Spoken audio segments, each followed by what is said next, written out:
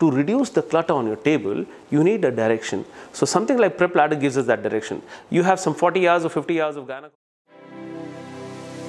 I have given all the content of pharmacology. I've contributed the entire content for internal medicine. I have created the content for PSM. You can trust the questions and explanations to be genuine. Detailed explanations will help you solve the different variations of the same question. Textbook references will help you authenticate an answer. I have created this content after close inspection of the previous year questions. I have put in my 14 years of experience into creating these questions. Includes the latest exam questions, questions on the recent updates, as well as image-based questions.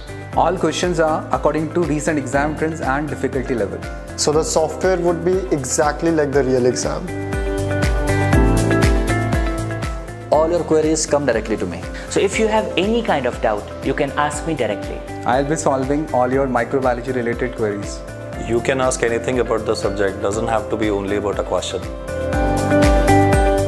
I'm always available for you whenever you need help. You can have a counseling session with me. So we've put in features to make sure you keep studying. The PrepLadder app will never let you fall behind. Solving obs and gynae questions will be easy for you after this. You would not have to worry about anatomy at all. You will be able to solve most of the questions in PSM. Most pathology questions in the exams are going to be derivatives or the repeats from these questions. 1 lakh competitors. 1 lakh competitors. 1 lakh competitors. 1 lakh competitors. 1 lakh competitors. 1 lakh competitors. 1 lakh competitors. 1 lakh competitors. 1 lakh competitors.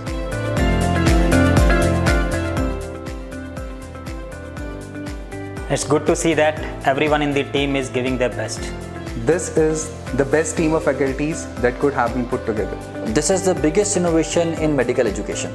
We are obsessed with making sure that you get the best value out of every minute spent on the PrepLadder app. Really happy to be a part of Team Prep Ladder. You know, if there was something like Prep Ladder when I was preparing, I will, I'm, I'm sure that I would have prepared much better because I would have known what to read.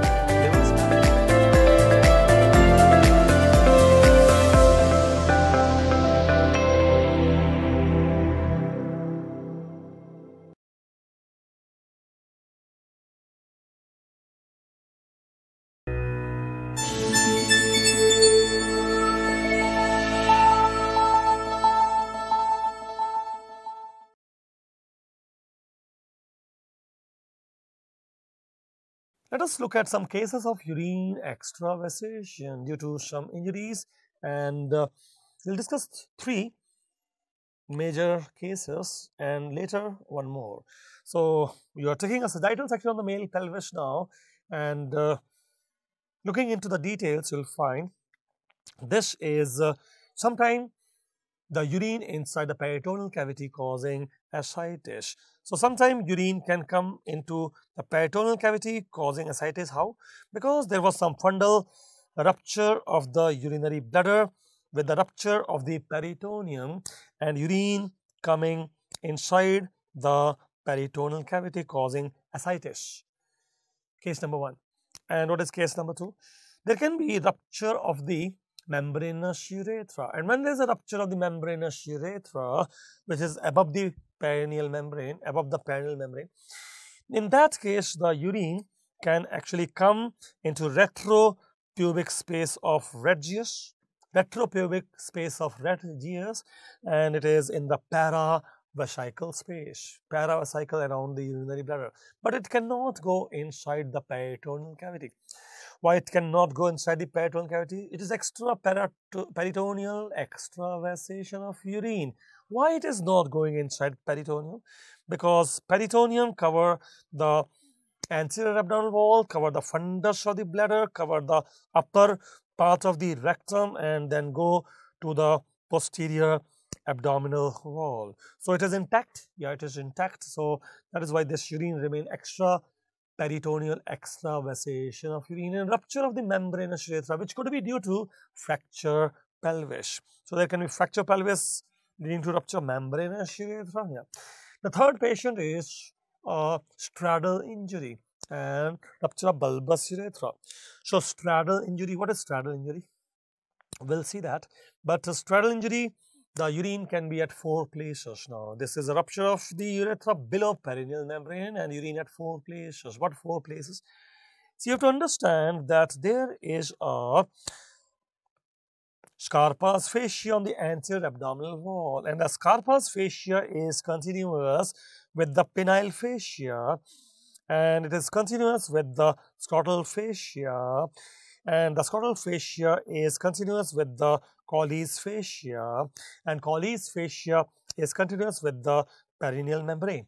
So, so there is a closed space and urine at four places if the rupture was below perineal membrane, bulbous spongy urethra rupture. So, which four places you have urine? In the superficial perineal pouch below the perineal membrane and also going into the scrotum penis and also going anterior abdominal wall. Anterior abdominal wall under the Scarpa's fascia, yeah, and in front of the pubis bone, yeah, in front of this pubis bone, in front of this pubis bone it is going. So these are all cases which we have to discuss now. This is uh, a case number one. There is a fundus of the rupture of the bladder. But when there is a fundus of the, where the rupture of the fundus of urinary bladder, then this could be fundus along with the peritoneal rupture and urine can go inside peritoneal cavity. So, you are trying to say it is ascites. Yeah. This is the answer. Yeah. Can you discuss this again? What is happening? Yeah, let me discuss, but peritoneal cavity is your answer. See, when there is a rupture of the fundus of the urinary bladder, it will also rupture. It may also rupture peritoneum. And when the peritoneum is ruptured, you see the urine coming into peritoneal cavity causing ascites. So, this is your case. That was case number 1. What about the case number 2, 3? As you see in this diagram, this area is pubis symphysis anteriorly and, and this is the urogenital diaphragm in the deep perineal pouch. So, there will be this uh, membranous urethra in the deep pouch. Then you can also see this is the prostatic urethra passing through the prostate and then you can also see that this is the bulbous spongy urethra becoming penile spongy urethra below the perineal membrane and the resocial perineal pouch. This is for the orientation. Now, see what is happening. The previous case was ascites, intraperitoneal extravasation of urine, but here what will happen if prostatic urethra is ruptured, which is not so commonly seen, but what will happen? What will happen if the membranous urethra is ruptured, which is quite commonly seen in pelvic fractures. When there is a pelvic fracture, there can be rupture of membranous urethra in the deep anal pouch. And in straddle injury, there can be rupture of the bulbous spongy urethra. Most of the urethra ruptures are actually at the junction of the posterior and anterior urethra. Who is anterior urethra?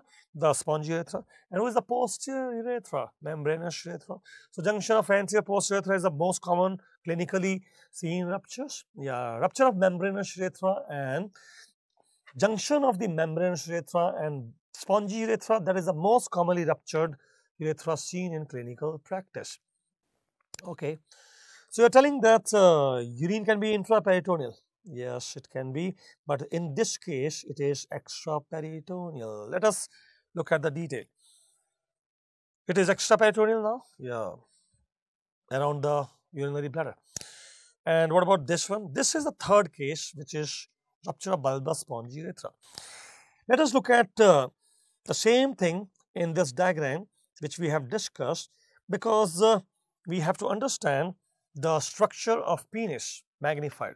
So, you are magnifying the structure of penis where you already have told that there is some corpus cavernosum, yeah, corpus cavernosum is there, but that is for blood and uh, urine can be extravasating from this urethra, penile spongy urethra. You have to understand some fascias here. Basically, there is a Scarpa's fascia which is coming on the anterior abdominal wall. And Scarpa's fascia, which is on the anterior abdominal wall, will continue with the penile fascia. And penile fascia continues with the scrotal fascia and scrotal fascia is continuous with the Colles fascia and Colles fascia will be continuous with the perineal membrane here. So, the thing is there is one more fascia we want to talk about and that is deep fascia. See what you are seeing now is quite outside superficial fascia. Scarpa's fascia is a part of superficial fascia. Penile fascia is dartos fascia, it is superficial. Even scrotal fascia is dartos, it is superficial. But then there's a deep fascia of penis and what is that? There will be a Buck's fascia, a Buck's fascia. So you now want to discuss some Buck's fascia? Yeah, Buck's fascia. See, if the Buck's fascia is intact, then if the Buck's fascia is intact and if you get a case of penile fracture, sometimes there are cases of penile fracture and uh, bleeding and uh, urine coming out, but within the shaft of the penile penis. So, if there is an intact Buck's fascia which is D fascia, then the blood and urine will be confined to penile shaft only? Yes. And what if the Buck's fascia was ruptured? Buck's fascia is D fascia and if it is ruptured, then the urine and blood can come out and they'll be at four places. Which four places? Number one, it is already in the penile shaft. Number two, it will be in the scrotum. Number three, the social penile pouch. And number four, in the anterior abdominal wall. So this is the description you want to see. But let me first look at the pe penis layers. And uh, you have taken a transverse section of the penis. So we have taken a transverse section of penis now. Yeah. To see the Buck's fascia. Yeah, Buck's fascia we have to see. See, this is the transverse section of the penis you have taken and you are telling. This is the Buck's fascia, which is actually deep fascia. Then who is the superficial if this is the deep fascia?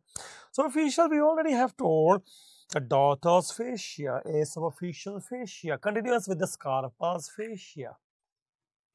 So, this is the superficial fascia, the dartos fascia. Yeah and then you are telling that there is some deep fascia, the Buck's fascia. What is the importance of Buck's fascia? See, can you find that there is some corpora cavernosa containing some blood which will be filled with blood when there is parasympathetic nerve agencies working for venodilation, erection of penis, all that. This is corpora cavernosa. And what about corpus spongiosum? When you say corpus spongiosum, you have the spongy urethra inside. So this is the spongy urethra inside. Yeah. Okay. What about that? See, if the Buck's fascia is intact and there's a penile fracture leading to bleeding within the shaft of penis or urine extravasation, this urine or blood cannot escape the penile shaft until this fascia, Buck's fascia is intact. This is what you just remember. Okay, fine. What is the next thing? Next thing is a question, one of the AIIMS question asking, you have injury to the urethra above the perineal membrane. You mean to say above the perineal membrane means membranous urethra rupture, uh, some pelvic fracture, rupture of membranous urethra. So, if it is rupture of the membranous urethra, where the urine cannot go is the question. So, you are telling that uh, this is something above the perineal membrane means rupture of the membranous urethra and uh, where the urine cannot go. Before I answer this question, let us look at the diagram here. Rupture of the membranous urethra can send the urine at three places. Which three places it can send the urine? Number one, you already have seen. It will go paravesical space. Paravesical space means around the urinary bladder. Yes, but it will be extra peritoneal extra extravasation of urine. So, it is not uh, going inside the peritoneal cavity. Why? Because peritoneum is intact. So, you are telling that this is the peritoneum anterior abdominal wall and on the fundus of the bladder and on the anterior side of the rectum, then the posterior abdominal wall. Yeah. So, peritoneum is intact, so urine cannot go inside the peritoneal cavity. That will give you the answer. Understand this urine will be in the paravesical space including this uh, pubic space of Retzius behind the pubis bone. So behind the pubis bone is some space. Yeah, you see. This is behind the pubis bone. You have some space which is called retropubic space of Retzius. That is where the urine can be there. Then two more places this urine can go. You mean to say rupture of the membranous urethra urine expulsion at three places? Yeah, one you have seen paravesical. Now number two and three. So you are telling this is rupture of membranous urethra here? Yes. Within the deep anal pouch? Yes. This urine can be in the deep pouch. And it can also come to social pouch. But how can it come to superficial pouch?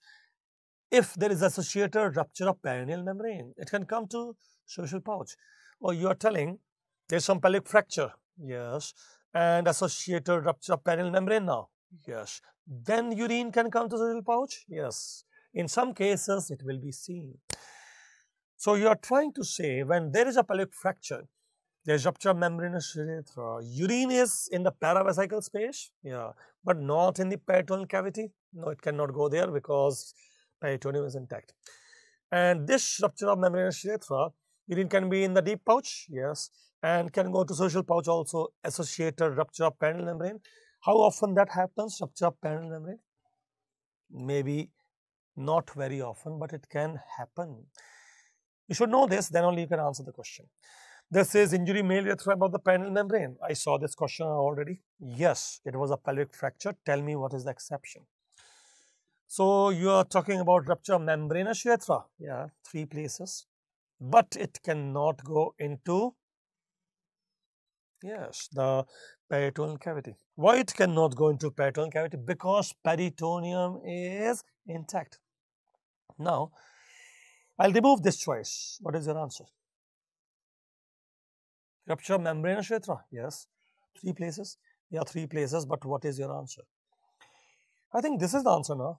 Yes, because you are assuming that it is a pelvic fracture, rupture membrane urethra with intact perineal membrane. So, in this case, you are assuming that the perineal membrane was intact.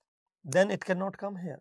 So, this question has double answer. Yes, it has double answer, but D is better than C. And why D is better than C? Because peritoneum is never ruptured in this case. Peritoneum is intact all the time, but but perineal membrane may be ruptured. That is why D is a better answer than C. Now let us look at the third patient. It's a young boy, 16 year old, and having some straddle injury. Straddle injury. What is straddle injury?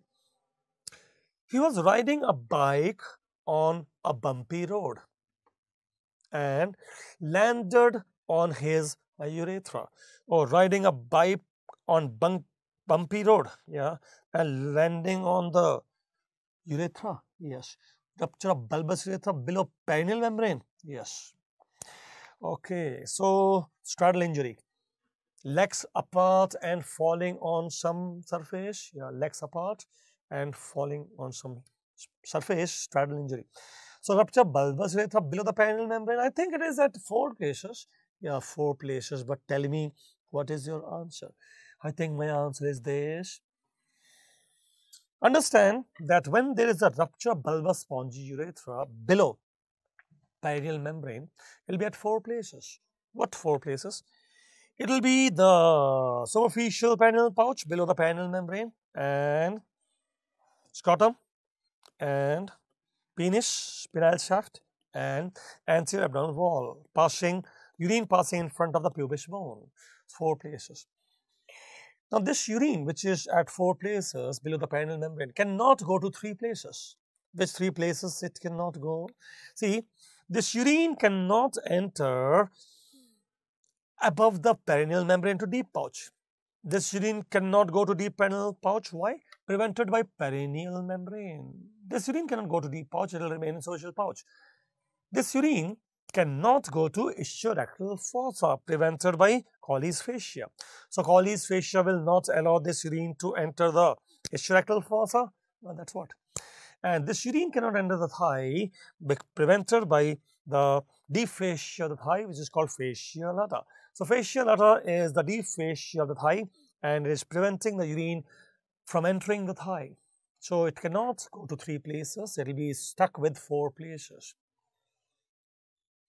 If you know that, tell me the answer. Straddle injury, rupture bulbous spongy urethra can go to four places but cannot go to three places. So what is the answer?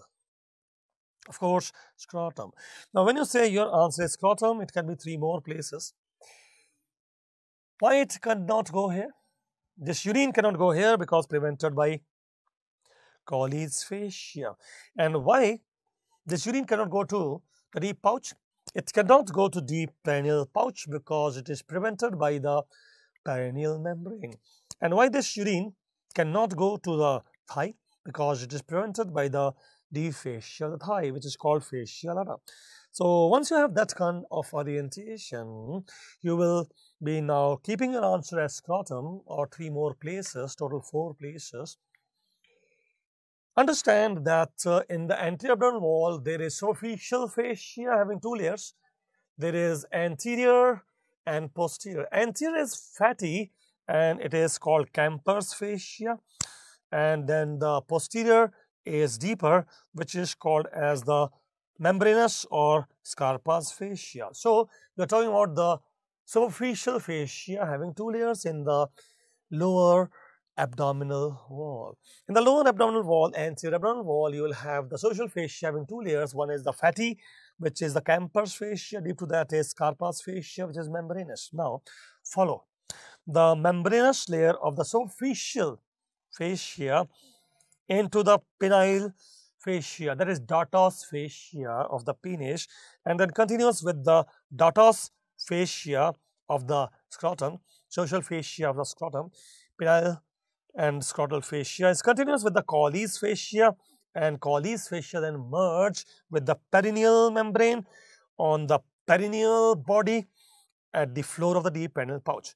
So, this Colles fascia merge with the perineal body and at the floor of the deep pouch is perineal membrane there. Yeah, that is the basics. Now, go into detail. As you go into detail, you will find again that we are uh, tracing what is called as the membranous fascia Scarpa's fascia and Scarpa's fascia is continuous with the dartos fascia on the penis and that is continuous with dartos fascia on the scrotum and that is continuous with the perineal body perineal membrane there. But I also told you about this uh, deeper one and who is the deeper one. As you can see here, I am showing this is the Buck's fascia now. So, Buck's fascia, this one, yes, covering the penis deeper. Yeah, and uh, the point was if the Buck's fascia is intact, the urine and uh, blood of the penile shaft cannot escape the shaft. And if Buck's fascia ruptured, if it is ruptured, then urine and blood can be in the penile shaft, in the scrotum, in the social perineal pouch, and also anterior abdominal wall, passing anterior to the pubis bone and uh, deep to the Scarpa's fascia. Now we will be making a diagram to discuss all the patient which we have seen. So we'll make a diagram for all the patient which we have seen. Yes, let's do that. You are uh, looking at the sagittal section of the male pelvis and when you look at the sagittal section of male pelvis, you will see that this is the urinary bladder and that is the urethra and this is the prostate and this is the deep perineal pouch. So, you are telling that this is sagittal section of male pelvis and this is the side view of urinary bladder and the urethra and the prostate and the deep perineal pouch. I think it's a perineal body here. Yeah, that is the perineal body attaching to the perineal membrane posteriorly. So, that is perineal membrane. Yes, this is the perineal membrane which is the floor of the deep perineal pouch and attaching to perineal membrane posteriorly is the perineal body. And then, then you tell this is uh, prostatic urethra, the membranous urethra and, and then you will continue downward the bulbous spongy urethra. If there is a bulbous spongy urethra, I think this is the penile spongy urethra. Yeah, that will be penile spongy urethra opening outside. So, this is penile spongy urethra now opening outside. Yes, it will be inside the penis, uh, penile shaft. Okay, if you say so. What is the next thing? Next thing you have to tell that this is the pubis bone here. Pubis bone here. Yes, this is pubis bone. And uh, attaching to pubis bone is the muscle we are calling as external oblique muscle. So this is the external oblique muscle on the anterior abdominal wall. Yeah. External oblique muscle on the anterior abdominal wall is now attaching to the pubis bone there. Yes. Okay. What is in front of the external oblique muscle? What is in front of external oblique muscle? Scarpa's fascia. Yes, Scarpa's fascia now. So this is the Scarpa's fascia, which is superficial fascia, the membranous layer of superficial fascia. And this uh, Scarpa's fascia, which is a superficial fascia, is continuous with the fascia of the penis and fascia of the scrotum. And then it is continuous with the perineal body and perineal membrane there, creating a closed space. So, this is a closed space now. How come? Because you will see there is some fibrous tissue between the deep pouch and the pubis bone. So, there is some fibrous tissue between the deep perineal pouch and the pubis bone. Yeah. so, it is a closed space. What closed space is that? See, if urine is extravasating build the perineal membrane, it will be at four places. Where? Number one, social pouch, and number two, the scrotum, and number three, the penile shaft, and number four, anterior abdominal wall. Oh, that four places, yeah, below perineal membrane. Yeah, that's what we wanted to know. Now, once you said that, what is this uh, fascia here? You are calling as this is penile fascia, and uh, you can also call it as dartos fascia. Dartos fascia is social fascia of the penis, which is continuing to the scrotal fascia.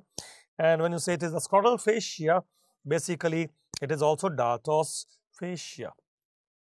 Okay, if you say so, what is it continuous with? Continuous with Colles fascia. And what is Colles fascia continuous with? The perineal body and perineal membrane there. Now, we have seen one more and it was uh, deep fascia and it was covering the penis and we are calling it as the Buck's fascia. This is the Buck's fascia. So now you are telling this is the Buck's fascia, which is the deep fascia of the penis and covering the penile shaft. And if the Buck's fascia is intact, then the urine and blood cannot escape the penile shaft. For example, if there is a penile fracture with intact Buck's fascia, this is the Buck's fascia. So our point is that if there is a penile fracture with intact Buck's fascia, the urine or maybe the blood cannot escape the penile shaft. It will stay within the penile shaft prevented by the Buck's fascia and whatever it is ruptured. If the Buck's fascia is ruptured, then of course urine will be at four places. It will be not only in the penile shaft, but it will go into the scrotum, into social perineal pouch, and it is also in the anterior abdominal wall.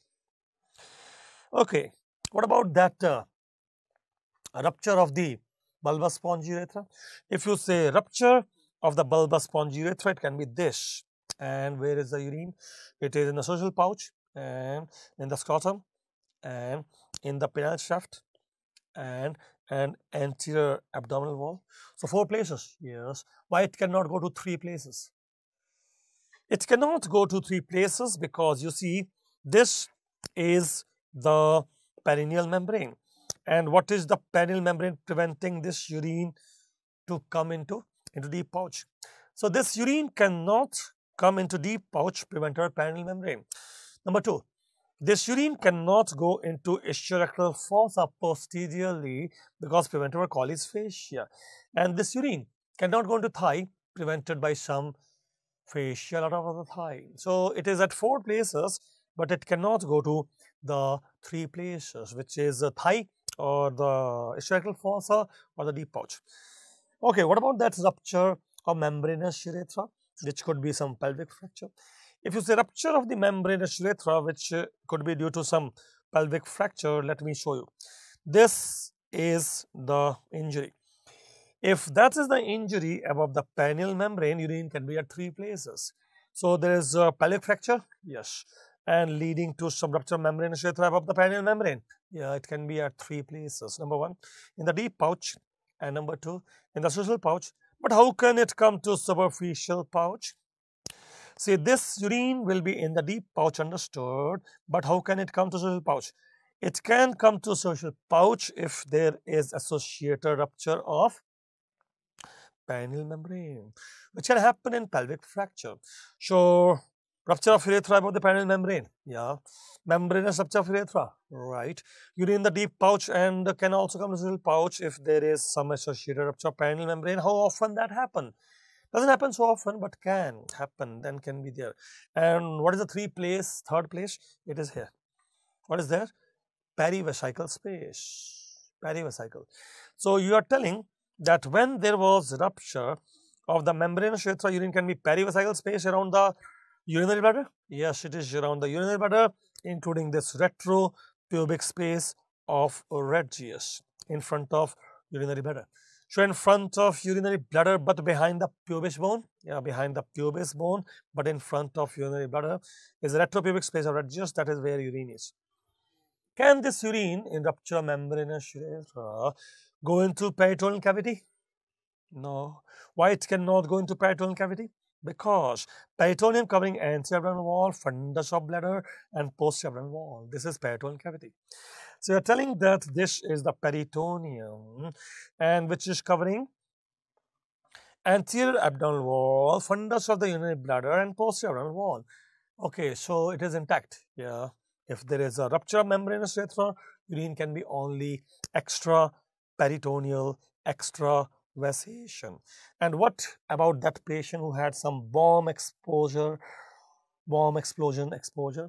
In that case, actually, we had the associated rupture of the peritoneum also. Urine going into the peritoneal cavity and it was fundal rupture of urinary bladder with the associated rupture of peritoneum and causing ascites. So, that is a different scenario altogether there. So, this is one case in front of you with intact Buck's fascia, penile fracture.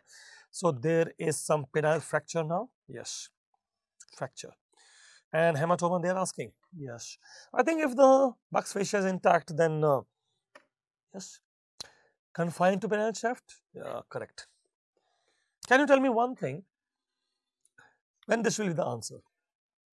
The four places, penis, scrotum, abdominal wall, yeah, four places. When? When will that be answered? I think when there is a rupture of Buck's fascia, yes, correct. Keep your answer as choice number D and look at this. This is no rupture of Buck's fascia, which is your question. And in that case, this is urine and blood confined to penile shaft only. But on the other hand, on the other hand, if the Buck's fascia was uh, ruptured, see what happens. If the Buck's fascia was ruptured, then you see urine is not only in the penile shaft, but it is also into the scrotum and it is also in the cerebral penile pouch and it is also in the anterior wall or it is at four places then rupture of Buck's fascia, four places. Just like rupture of bulbous spongy urethra below perineal membrane.